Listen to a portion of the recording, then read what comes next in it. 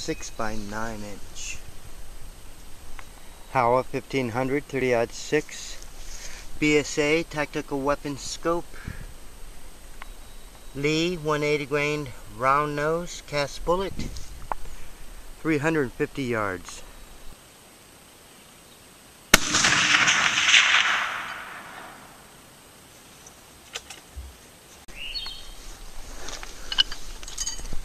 right there not as much wind as I thought so that's three shots, three different days at 350 yards, two and a quarter inches, well under one minute. Zap.